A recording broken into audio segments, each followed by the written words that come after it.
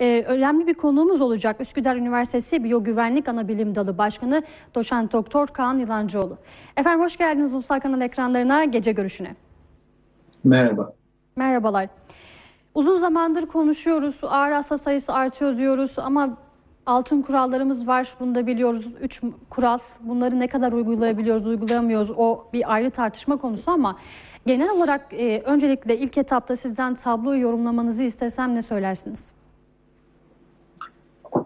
Yani Türkiye'deki tablo zaten dünyadaki tabloyla neredeyse eşdeğer gidiyor. Ee, bu sayıların, bu rakamların bu noktaya geleceğini zaten biliyorduk. Hani bu sürpriz bir sayı değil açıkçası yani hem hasta sayısı. Biz orada zaten e, zannediyorum ağır hastaları görüyoruz. E, ve e, vefatlar tabii ki artıyor. Şu anda eksponansiyel yani e, bir logaritmik bir artış evresindeyiz. E, dolayısıyla her geçen gün yani tedbirler sıkılaştırılmadıkça her geçen gün bu logaritmik artış daha da şiddetlenecek ve her geçen gün katlanarak artan sayılarla karşılaşacağız. Bunlar böyle 80, 82, 85 gibi değil. Belli bir zamandan sonra maalesef 80'ler yüzler olacak. Üç basamaklılar daha büyüyecek. Yani önlem almazsanız, e, önüne geçmezseniz dört basamaklılara kadar görürsünüz. Gör, görmek de muhtemel olabilir. Çünkü dünya zaten bununla karşılaştı şu anda biliyorsunuz birçok ülkede artık kapanma, e, kısıtlama e, önlemleri alınmaya başlandı. Dolayısıyla e, tablo şu an logaritmik artışla devam eden bir tablo. Yani e, sürpriz bir tablo değil. Biz e, tabii ki önlemler yeterli mi değil mi tartışıyoruz hep ama tabii bir taraftan da e, hayatın devam ettiği bir ülkedeyiz. Avrupa ülkelerinde birçok ülke e, kapanma taraftarı ve bu konuda da önemli adımlar attı. Burada yapılan uygulama saat 10 sonrasında birçok iş yerinin, işletmenin kapanması oldu. Belki sokaklardaki hareketliliği bir nebze olsun azaltır diye. Bir taraftan da izole edilenlerin e, gruplama şekli tartışma noktası. Yani sadece 65 yaş üstüne uygulanan izolasyon, hamileler, işte yaşlılar e, doğru bir tercih mi? E, daha önce gençlere yönelik bir izolasyon uygulanmıştı. E, tam olarak nerede durmak gerekiyor? Bu noktadaki sorun nedir sizce? Şimdi tedbir hiçbir zaman yeterli olmayacaktır. Yani ne yaparsanız yapın. Bir salgınla uğraşıyoruz sonuçta ve aerosol bulaşan, damlacıkla bulaşan, yani nefes alıp vermeyle dahi bulaşabilen bir virüsle uğraşıyoruz. Dolayısıyla ne kadar tedbir alırsanız alın mutlaka bulaş söz konusu olacaktır. Çünkü insanlar işlerine gidiyorlar. Oralarda çalış, çalışacaklar. Efendim oralara giderken bir takım vasıtalar kullanacaklar. Topluluğa girmek zorundalar. Yani ne kadar tedbir alırsanız o kadar iyi. Yani bu zaten dünyanın da şu an uygulamaya çalıştığı biraz salgının biliyorsunuz hızını kesmeye çalışmak. Yoksa ne kapanmanın ne full izolasyonun e, bir fayda sağlamayacağı e, açık zaten ortada. Yani İspanya bunu denedi, İtalya bunu denedi ama şu anda vaka sayılarını görüyoruz. Yani e, full kapanmanın da tabii ki tam olarak bir çözüm olmadığını biliyoruz. Ama bu aşamada bu ülkeler niye bunu yapıyorlar? E, çok basit nedeni. Bu salgının hızı ne dedim? Logaritmik, eksponansiyel. Yani katlanarak artacak. Bugün gördüğünüz 2000 vaka yarın 4000 olacak. 4000, 8000 olacak. 8000, 16000 olacak. Yani bunun önüne geçemezsiniz belli bir zamandan sonra. Dolayısıyla bu kısıtlamalarla ne yapmaya çalışıyorlar? Salgının önüne bir miktar geçmeye çalışıyorlar. Yani çünkü aşı çalışmaları neredeyse sona geldi. Fakat aşı çalışmaları sona gelmişken tabii ki hiçbir ülke neredeyse böyle eksponansiyel artışın artık sağlık sistemini çökertecek seviyeye gelmesini istemiyor. Dolayısıyla bir son bir iki frene basıp aşı çalışmalarını başlatacaklar. E, bizim de yaptığımız muhtemel buna benzer şeyler. 65 yaş için ben tabii ki e, biz kural koyucular, kanun koyucular değiliz. Bizler bilim insanları olarak fikirlerimizi doğru veyahut da yanlış inandığımız, e, daha doğrusu inandığımız demeyeyim. Bu çünkü kişisel inançlarla ilgili değil. E, belirli bilimsel e, metodolojiler de var tabii ki. İncelediğimiz kaynaklar, incelediğimiz örnekler bu işin e, kitabi boyutu, teorik boyutu tabii ki pratikte değişebilir ama bir takım şeyler var. E, burada 65 yaşı mesela e, biliyorsunuz e, kısıtlamaya gitmek durumunda kaldık. Şimdi e, yani yaşlı grubun evde kalması açıkçası yani benim kendi kanaatimce tekrar söylüyorum benim kendi kanaatimdir bu. E, yani çok da bir e, yani salgının önüne geçmek için çok bir şey yapacağını düşünmüyorum. Neden? Çünkü şimdi 65 yaşı korumaya çalışıyoruz 65 yaş sonrasını. E, ama yani sonuçta evine giden insanlar da var. E, bunlar çalışacaklar, dışarıdan gelecekler. Evine giden bu çünkü yaşlılarımız bizim e, işte İsveç'teki gibi, Finlandiya'daki gibi yalnız yaşayan insanlar değiller. E, dolayısıyla e, aileleri olan insanlar. Yani bunları korumanın yolu tabii ki genç bulaşın önüne geçmek. Yani e, ben olsaydım e, açıkçası daha genç yaş grubunda bir takım önlemler almaya tabii tercih edebilirdim ama ya dediğim gibi yani bizler kural koyucular değiliz. E, bir takım şeyleri bilmiyoruz. Bu da var. Şimdi hani bir takım kurallar konulurken e, bir takım faktörler de devrede olabiliyor. Biz bu faktörleri de bilmiyoruz. Buradan e, anladığımız kadarıyla, tahmin ettiğimiz kadarıyla bir takım şeyler söylüyoruz. Tabii e, bilinen bazı şeyler var muhtemelen. E, bizler buna vakıf değiliz. Dolayısıyla tam olarak tabloyu görüp ona göre yorumlayamayabiliyoruz. Yani bu şekilde olabilir. Ama dediğim gibi yani genç bulaşın biraz daha engellenmesi ni tavsiye ediyoruz. Yani gençlerin çünkü biliyoruz ki e, tamam işi gücü olan insanlar işine gücüne gidecekler. Ekonomi de önemli bunu da biliyoruz. Buna da zaten kimsenin bir şeyi yok. İnsanlar çalışmak zorunda. Bunu da farkındayız. E, fakat yani çalışmak zorunda olmayan özellikle genç kesimin e, biliyoruz ki bir arada bulunmaları bulaşı oldukça arttıran faktörler bunlar. Yani onları birazcık e, e, onların bulaşı arttırmasını, salgını yaymasını biraz engellemek yoluna e, gidilebilir. Ama ben düşünüyorum yani kanaatim benim o şekilde. Muhtemelen o tarz önlemler de gelecektir. Çünkü daha önce de bu şekilde oldu. Yavaş yavaş önlemler Portekiz arttırıldı. bunu yaptı hocam. Ee, sadece Evet. okula gidip gelen öğrenciler ve işe gidip gelen e, insanların sokağa çıkmasına izin veriliyor. Portekiz de İşte e, tahminim- çok direndi. Evet. Evet tahminim benim de kaldı. bu yönde olacak. Yani biz de bu tarafa gideceğiz. Çünkü e, bu e, sizin bazen istemediğiniz şekilde gelişebiliyor. Dediğim gibi yani öne geçemeyeceğiniz sayılarla karşılaştığınızda biz bilemiyoruz ama sonuçta bu sayılar e, yetkililerin elinde biliyorlar, görüyorlar nereye gittiğini bu işin. Mutlaka belirli noktalarda belirli önlemlerin alacağı, alınacağını ben düşünüyorum açıkçası. Umarım e, geç kalmayız hocam. Çünkü m, o kadar çok asemptomatik insanlar var ki etrafımızda hiç septom göstermeden COVID-19 geçiren. Yaş e, fark etmiyor. Gençler de var, yaşlılar da var.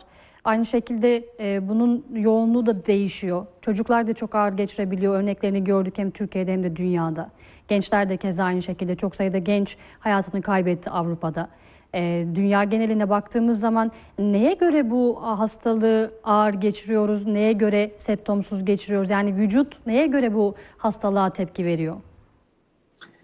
Bu tamamen sizin genetik altyapınızla ilişkili bir durum. Bu tamamen sizin immün sisteminizin, sizin karakterinize yani sizin karakterinize bağlı bir durum.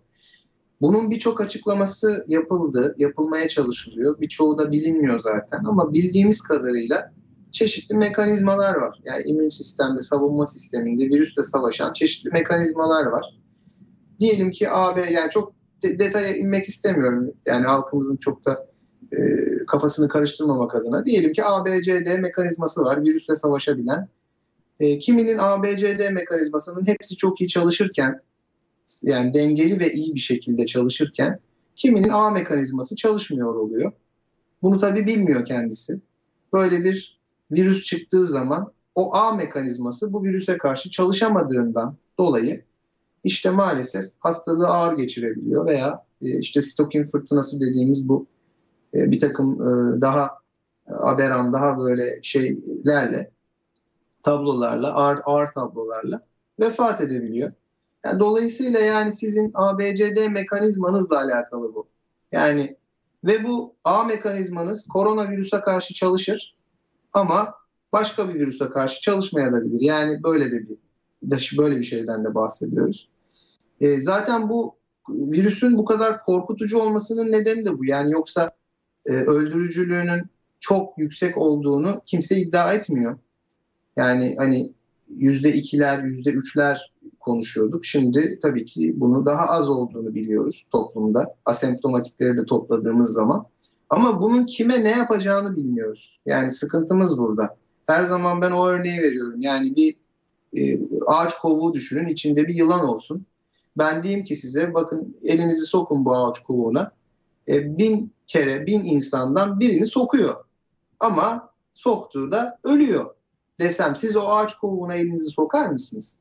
Sokmazsınız. Yani böyle bir riski olduğundan dolayı e, tabii ki korkuyoruz. Yani e, halkın da korkması gayet normal. Bir ikincisi de zaten yani hastalığın sadece solunum sistemini de tutmadığı artık o anlaşıldı. Birçok mekanizmayı da etkileyebiliyor. Yani biraz e, bu konuda aşıyı bekleyeceğiz yani. Peki rakamlar katlanarak önümüzdeki günlerde artacak ee, böyle bir ihtimalin söz konusu olduğunu söylediniz ki Avrupa'da öyle oldu. Sağlık Bakanı Fahrettin Koca en son İstanbul'da yaptığı toplantıda zaten bunu söylemişti. Avrupa'daki rakamlar Kendisi elbette söyledi. bize de yansıyacak dedi. Ya mutlaka. Uzak değil dedi. O yüzden dikkatli olmak ve e, ekonomiyi irdelemeden, ekonomiyi çok sıkıntıya sokmadan öncelikli olarak bu önlemleri almak bizim için e, ilk etapta bunu denemek istiyoruz diye ben açıkçası özetleyebiliyorum o dinlediğim toplantıyı. Çok Biz doğru. hazır mıyız peki? Ee, yani bin kişiden bahsediyor. Az önce ekranlarımıza getirdik haberi. Binle yakın kişi her gün hastaneye gidip pozitif yarısı neredeyse hastaneden pozitif sonucuyla ayrılıyor. Yoğun bakım açısından, hastane kapasitesi açısından hazır mıyız? Her şeye geçiyorum. Mart ayından bu yana kadar e, gece gündüz çalışan sağlık emekçilerimiz böyle olası bir duruma hazır mı sizce? Yani e, şimdi sağlık çalışanı olmadığım e, olmadığım için tabii sağlık çalışanları adına konuşmam biraz yanlış olur ama sağlık çalışanlarının ya- yani çok yorulduğunu hepimiz biliyoruz. E, dolayısıyla hastane kapasitelerinin de yani Sağlık Bakanlığı'nın yakından hastane kapasitelerini takip ettiğini de biliyoruz. Çevremizden aldığımız, işte hocalarımızın yazdıklarından veyahut da yakın dostlarımızdan aldığımız tabii ki bizim de haberler oluyor. Ama hastane kapasitelerinin tabii şimdiden yavaş yavaş e, zorlandığını e, duyumluyoruz. Yani bu sır bir şey değil zaten. Bu e, her yerde konuşulan, her yerde söylenilen zaten artık bakanımız da işiniz yoksa dışarıya çıkmayın diyor. Artık bu saatten sonra hani daha ne diyebilir ki? Hani işiniz yoksa dışarı çıkmayın demek. E, Kendinizi koruyun. Yani hazır olun artık. Belirli bir noktaya geldik. E şimdi İçişleri Bakanlığı'nın aldığı önlemleri görüyoruz. Yavaş yavaş önlemlerin seviyesi yükseltiliyor. Bunu da farkındayız. Yani hani derler ya hani çarşambanın gelişi perşembeden diye. E, yani zaten bunun ayak seslerini zaten algılıyoruz. Dolayısıyla hani insanlarımızın şunu bilmesi gerekiyor. E, bu şaka değil. Sonuçta bir salgınla uğraşılıyor. E, her ne kadar işte e, bir takım gruplar işte maske karşıtı, efendim bu iş e, işte plan demi, yok efendim işte bilmem kim vakfının oyunu falan gibi böyle tabii 5G falan gibi böyle e, bir takım iddialar, saçma iddialar diyeyim artık yani buna bir şey de diyemem artık hani bunun ötesinde. Milyonlarca insan ölmüşken gerçekten. Evet milyonlarca insan ölmüşken milyar, milyonlarca hastalanmış ve e, acılar çekerken hani böyle bir şeyler söyleyen insanlar var tabii. Şimdi hani bu insanları kenara koyacak olursak e, ciddi bir işle uğraşılıyor yani şu anda. Dolayısıyla daha e, önlemlerin ben aşıya kadar çünkü daha aşıya var. Yani daha Aşı demişken hocam yavaş yavaş aşı konusuna da girelim. Evet Çünkü güzel bir haber aldık Erciyes Üniversitesi'nden. Ee, Doğru. bizim için umut olsun mu hocam bu çalışma? Şimdi mutlaka umut ol- olsun, mutlaka umut olacak. Çünkü bir aşı adayının faz 1 çalışmasına başlaması demek zaten challenge deneylerinin hayvanlarda zaten çalıştığının gösterilmesi demek ki bu hayvan modellerinde gösterilen aşıların da insanlarda zaten çok yüksek ihtimalle çalışacağını biliyoruz. Hayvan modelleri ona göre dizayn edilmiş modeller çünkü onlar da çalıştıktan sonra mutlaka çalışacağını düşünüyoruz.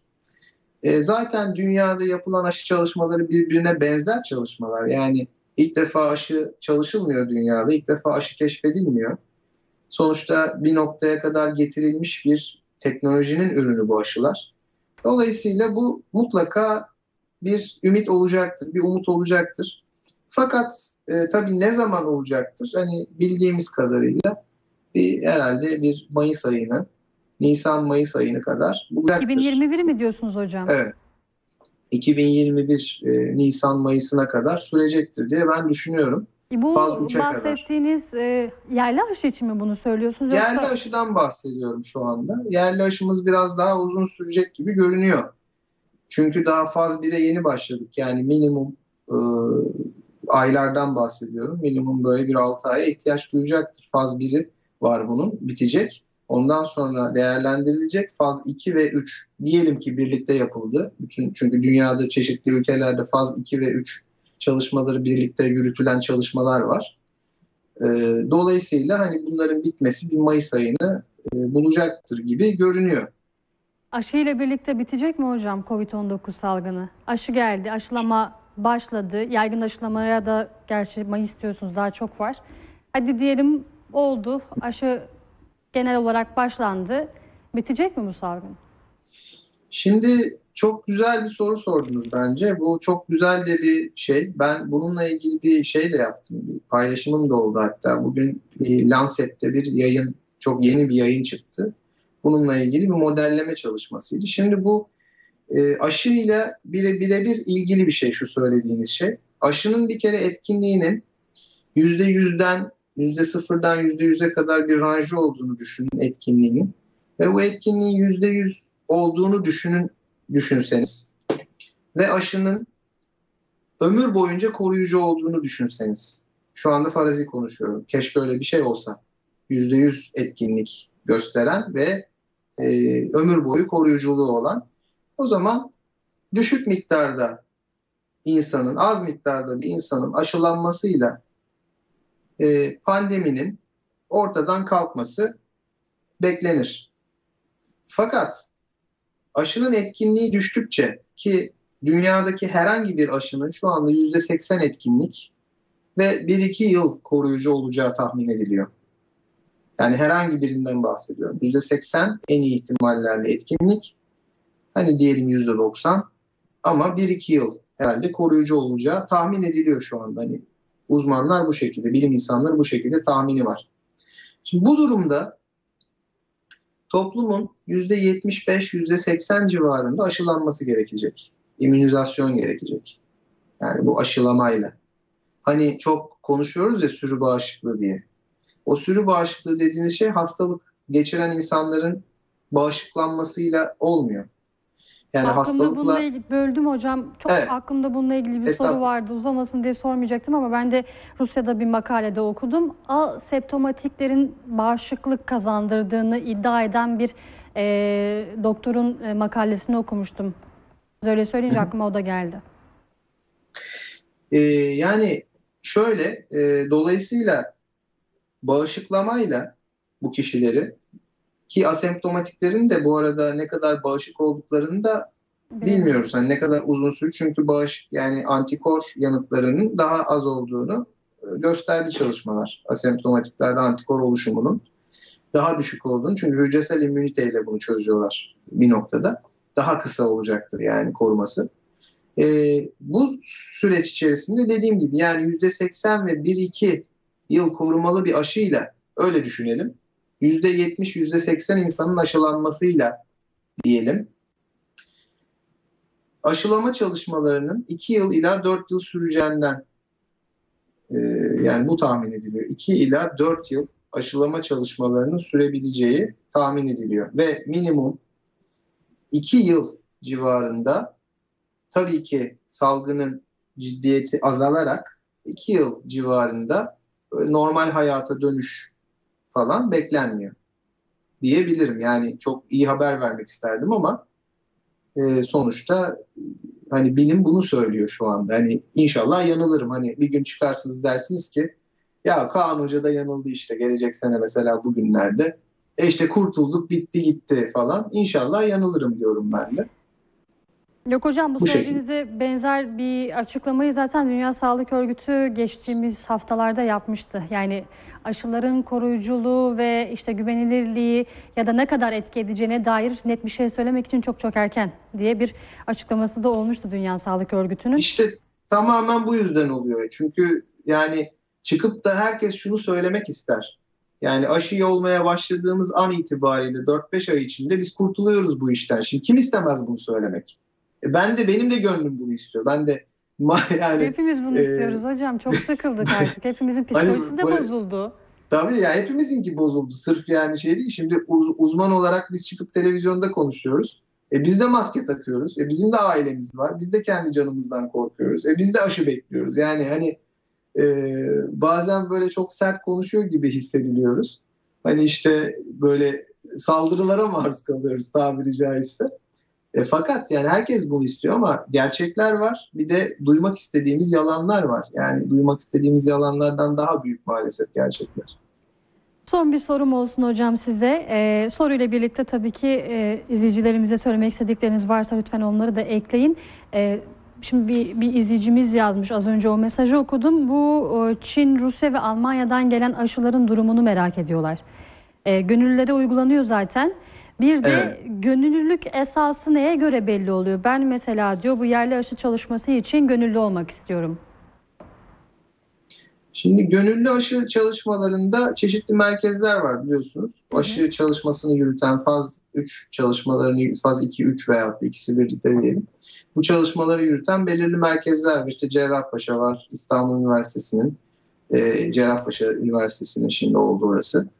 E, onun dışında Ankara Üniversitesi, Hacettepe e, ve buna benzer bir takım üniversitelerde yine e, çalışmalar yapılıyor. İşte bunlar gönüllü e, ilanına çıkarlar. Fakat gönüllü ilanı genellikle üniversite mesela kadrosu için üniversite kadrosu ve üniversite kadrosunun yakın çevresinden e, veyahut da üniversitenin tıp fakültesinin hekim ve sağlık çalışanlarından gibi olduğu için çok biz hani dışarıdan duymayız bunu hani işte e, gazete ilanı verilmez.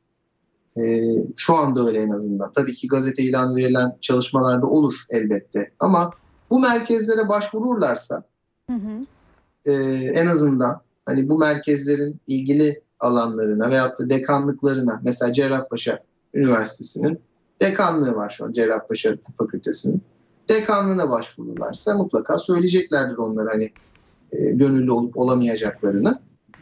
Bir bu var. İkincisi aşıların durumu nedir? E, aşılar iyi gidiyor yani Alman aşısı Çin aşısı hep şey, isimleri de öyle kaldı ya bir Alman aşısı Çin aşısı şeklinde kaldı isimleri. Evet Hepsinin tabii firmaları var. kaldı. Yani bunlar firması olan e, şeyler falan yani. diyeceğiz ama e, Tabii yani Alman öyle aşısı- değil. Alman Tabii aşısı, yani Al- Rus aynen, aşısı. Alman aşısı dediğiniz şey bir şirketin aşısı. Yani Çin aşısı dediğiniz şey bir şirketin aşısı. Ve sadece Çin'e ait de değil yani. 3-4 ortaklı başka dev e, şeylerin, e, ilaç firmalarının da içinde olduğu Çin dediğiniz aşı e, böyle bir aşı. Yani aynı şekilde Alman aşısı dediğiniz Amerikan ortağı olan bir aşı. Yani dolayısıyla Alman, Çin diye bir şey yok. Bunlar şirket. Yani şimdi bunu da bir anlamak gerekiyor yani. O yüzden diyor çünkü bazen ben karşılaşıyorum. Diyor ki ben Alman aşısına güvenirim diyor. ya şimdi e, Alman aşısı diye bir şey yok yani Alman bunu hani bu e, şimdi araba değil ki bu hani e, anlatabiliyor muyum ne demek istediğimi? Yani, Anladım hocam. Ben çok iyi anladım. Bence izleyicilerimiz de anlamıştır. e, evet yani dolayısıyla şimdi burada büyük bir savaş var. Şimdi yani politik savaşı geçiyorum. Kesinlikle Burada öyle. büyük bir ticari savaş var. Şimdi yani bunu da hani e, açık yüreklilikle, gönül rahatlığıyla konuşabiliriz tabii ki. Şimdi herkes ilk çıkartmaya çalışıyor. Dolayısıyla e, tabii Alman da istiyor. Yani Alman dediğim yine şirket de istiyor yani bunu. E, öteki de istiyor. E, dolayısıyla e, şimdi bizim ülkemizin aşısını istiyoruz. O gelsin istiyoruz. Ama bu büyük bir savaş. Yani bakalım bu savaşı kim kazanacak? Yani biz açıkçası hani şu aşıya güveniyorum, bu aşıya güveniyorum. Yani bakın bana hep soruyorlar hangi aşıya güveniyorsunuz diye. Yani ben hiçbirisine yani öyle hani siz ben şu aşıya güveniyorum diyemem. Ben alırım çalışmalarını, alırım makalelerini, e, okurum. E, hangisi uygun standartlarda çalışmayla, hangisi uygun e, değerlerde çalışmayla aklıma yatarsa o bana uygun gelir. Onun dışında hiçbiri ne Almanı, ne Çin'i, ne Amerikalısı, ne bir başka ülkesi e, açıkçası bana eşdeğer de eşdeğer miktarda güven veriyor diyeyim. E, herhalde anlaşılmıştır diye tahmin ediyorum. Evet bence kesinlikle çok net anlaşıldı. Burada da büyük bir e, piyasa var. Sonuç olarak da bahsettiğiniz firmaların çoğu özel firmalar. E, onların Değil da bir karı olması gerekiyor elbette değil mi bu durumda? Dünyaya E, tabii şimdi mesela- lazım. Mesela İngiliz aşısı, bakın İngiliz aşısından bahsediyor. İngiliz yine İngiliz derken yine bir firmanın aşısı bu. Şimdi İngiliz aşısı dedi ki ben e, aşıyı aralığa yetiştiriyorum. Ocağa yetiştiriyorum. E şimdi iki gün önce bu aşının çalışmaları durduruldu. Ondan işte birkaç hafta önce aşı çalışması yine durduruldu. Yani hani e şimdi tekrar geri döndüler çalışmaya. E şimdi Aralık ayında bitiriyoruz diyorlar. E, ve bütün şu anda tabii e, aşı firmaları da aynı zamanda e, şey de yapıyor biliyorsunuz hani hükümetlerle e, bir takım yapıyorlar. anlaşmalar da imzalıyorlar yani hani bir problem olursa bak benden bilinmesin diye. E, şimdi yani dolayısıyla bu konuda biraz kendi şeyimize e, açıkçası bağlıyız. Hani bakacağız. Kendi mantık bilim olarak- insanlarımıza güvenmek bana da Evet, daha doğru gibi evet. geliyor hocam. Aynen öyle. Kendi bilim insanlarımıza tabii ki yani güvenmek bana da daha doğru geliyor. Şimdi dolayısıyla birazcık e, inceleyeceğiz, sık dokuyacağız E, ve e, doğru yolu bulmaya çalışacağız. Birazcık tabii ki doğru bilim insanlarını da takip edersek e, daha doğru e, bilgilere erişiriz diye de düşünüyorum tabii. Doğru söylediniz. Bu nokta da çok önemli. Ee, görüyoruz e, diğer kanallarda, sosyal medyada. Uzman olmadığı alan bile olsa herkes konuşma ihtiyacı hissediyor artık. İşin popülerizmi de ayrı bir e, tartışma noktası haline gelmiş durumda. Son olarak hocam izleyicilerimize buradan söyleyecekleriniz varsa lütfen onları alalım sonra da size veda edelim. İzleyicilerimize söyleyeceğim, e, aileme söyleyeceğimle eşdeğer. Maskenizi takın. Kim ne derse desin, maskenin koruyuculuğu var mı yok mu tartışmasını bir kenara bırakın. Bildiğimiz en koruyucu şey şu anda maske. Şöyle düşünün, basit, çok basit düşünün. Eğer maske koruyucu olmasaydı bugün sağlık çalışanlarının hepsi enfekte olmuş, bu hastalığı geçirmişti. Gayet basit bir şekilde düşünebilirsiniz. Onun dışında mesafenizi koruyabiliyorsanız koruyun ama yani e, maske, mesafe, hijyen hep aynı şeyi söylüyoruz. Halk da haklı. Diyor ki kardeşim ben e, metroya biniyorum, metrobüse biniyorum. Ne maskesi, ne hijyeni, ne mesafesinden bahsediyorsun diyor. Tabii ki belli oranlarda haklı. E, ama e, olabildiğince kendimize dikkat edeceğiz, mukayyet olacağız. Olabildiğince riske girmeyeceğiz. Güzel bir lafı vardı Bakan Bey'in. E, her temas risktir. Doğru, her temas risktir. E, onun dışında güzel bir uygulama var. Onu da tavsiye ediyorum. Her ne kadar yine böyle suçlanabiliyorsunuz bunu tavsiye ettiğiniz zaman işte sizi takip ediyorlar falan böyle garip garip şeyler var biliyorsun. Bir uygulama HES var, bir HES uygulaması. uygulaması. Şimdi HES uygulaması güzel bu uygulama. Bakın bir e, dostumun başından geçeni söyleyeyim. Belki şey yapar insanlara. E, minibüse biniyor.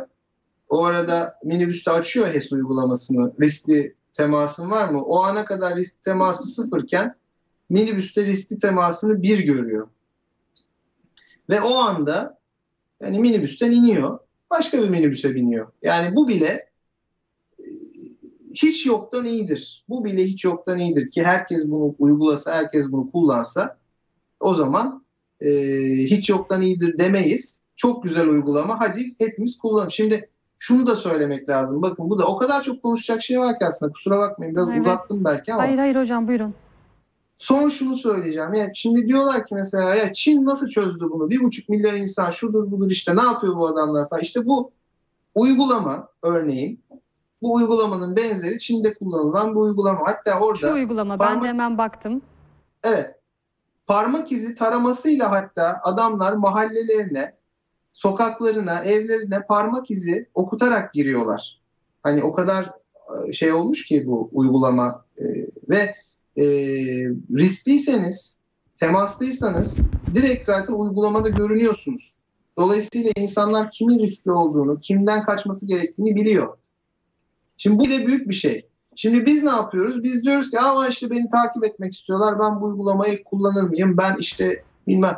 Yani cep telefonuna Facebook yüklemiş, Instagram kullanıyor. Efendim Twitter elimizde akşama kadar. WhatsApp. Ama ama HES uygulamasını tehlikeli buluyoruz. Yani yani söyleyecek söz bulamıyorum gerçekten. Ee, efendim 5G'den korkuyoruz. Elimizde 4.5G, 4G bugüne kadar kullandığımız cep telefonları. Yani sürekli her yanımız elektronik e, cenneti. Yani birazcık mantıklı da olmak gerekiyor tabii Deniz Hanım. Çok teşekkür ederim katıldığınız için. K- aklımızdaki sorular aslında sadece bana ait sorular değildi.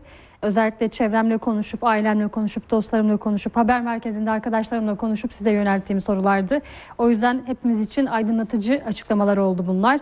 Gerçekten çok teşekkür ediyoruz Ulusal Kanal'a gece görüşüne katıldığınız için. Sağ olun. Sağ olun hocam. ben teşekkür ediyorum davetiniz için.